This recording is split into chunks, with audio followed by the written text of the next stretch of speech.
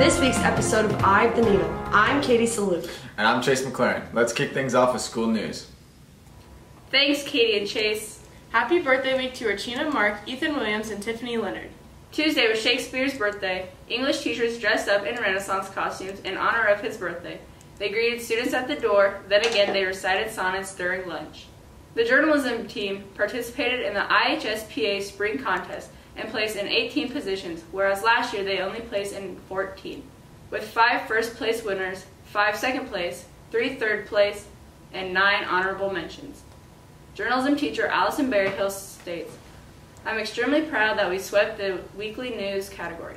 We put a lot of work into that as an aspect of our journalism program. Berryhill also mentioned that the journalism team is not a one person job. Everyone puts work into making the program great. Senator Kirsten Gillibrand from New York came to Iowa Western to speak. Gillibrand is another presidential candidate.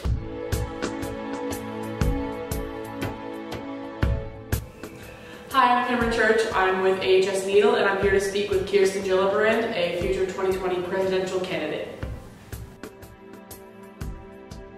What's your definition of a leader, and what is your purpose as a leader? As someone who does the right thing, even if it costs them everything. Someone who does the right thing to help others, to put others before themselves. Someone who does the right thing to take their country or community or school forward and move it towards the right direction. Someone who listens and absorbs and understands what the people you're serving need and want, and then try to find the solutions to make that happen. We are only asked, What do you think? Do you think this is okay? Do you think this is defensible? And I chose, along with, I don't know, maybe 30 other senators, to say it's not okay. I also am a mom of sons, and this is what really mattered the most. Conversations I was having with Theo, who's now 15, at home was, Mom, why are you so tough on Al Franken? And I had to say, Theo, you can't grope a woman anywhere on her body without her consent. Can't forcibly kiss a woman ever without her consent. And that's not okay for you, and it's not okay for Senator Franken. I'm running for president because I want to heal this nation and I want to bring us back together again. And I'm strong enough and brave enough to take on the special interests. President Trump isn't. He said he would drain, he would drain the swamp. He's filled it. He's got the elite of the elite in his cabinet. We've got indictments left and right. Culture of corruption has returned to Washington. And so you got to take it on. And you got to have the courage and conviction and fearless determination that it's going to take to actually do it. And I know I can do it.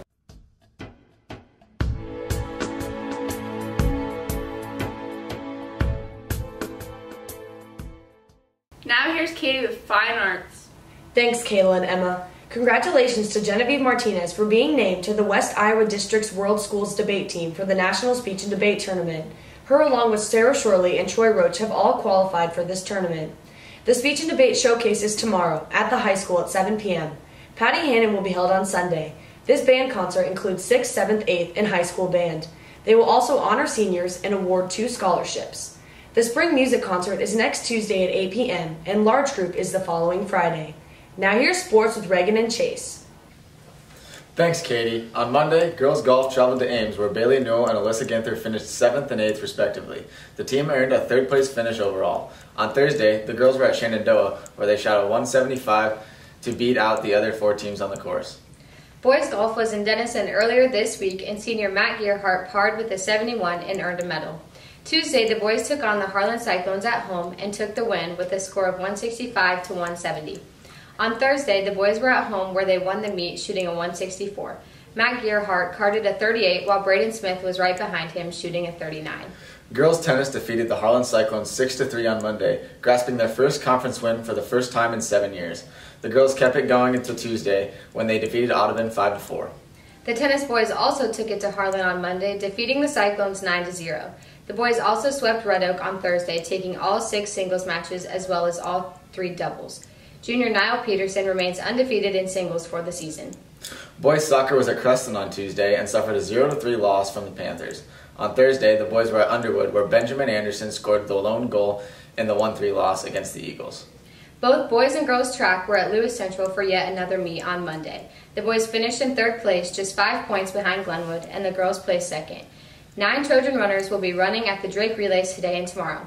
Good luck to Zayd Nicholson and Chase Molnex in the Open 400, Craig Allen Becker and Molnex in the Open 800, the boys distance medley relay, and lastly, both girls and boys 4x400 relays.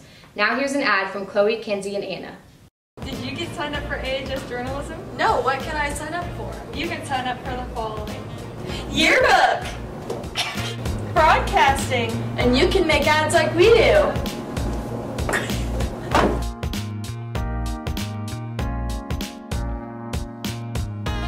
Hey guys, I never joined journalism when I was a freshman or a sophomore or a junior, and I really regret it.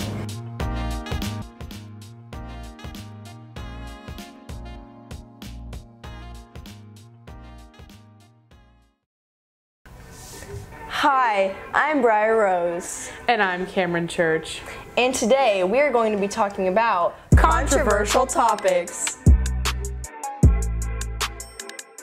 I think pineapple should be on pizza. I don't think pineapple should be on pizza because sweet does not go with pe- like pizza is supposed to be cheese and then like meats or vegetables and stuff like that. Pineapple is sweet and it doesn't go with it. It doesn't taste good, it doesn't mix well. It's not a good combination.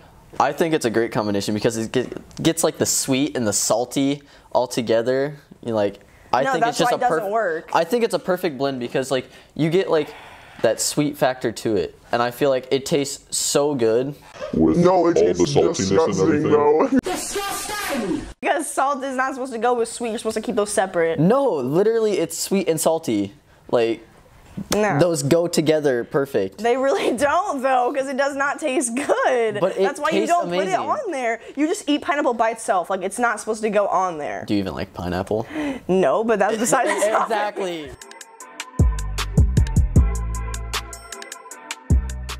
Yo, chickies. What up, home sneezes? It's your boys. McDonald's is better because the fries. It's all about Okay, hold on, hold on. No, no, no. You're not going to interrupt me while I'm talking. Thank you. Next. The burger is just the side dish. She's what you eat to get full. But you are there for the fries. You do not go to a fast food restaurant and not get fries. Like you are, that is the whole course meal.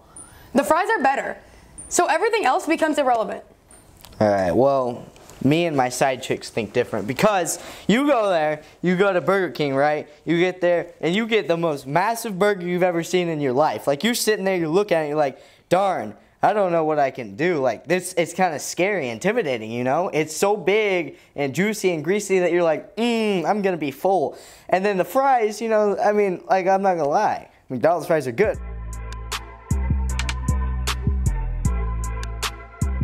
I know that I have the overall reputation to be a male sexist person. Now, that's not always the case, but I do have some arguments that I would say that men are by far the superior gender.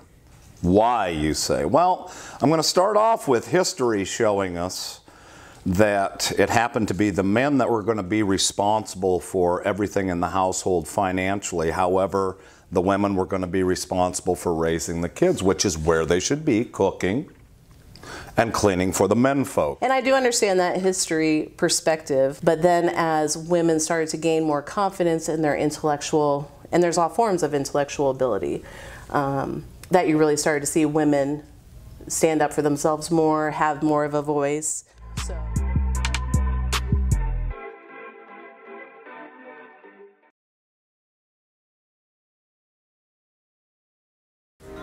Thank you for watching this week's episode of of the Needle.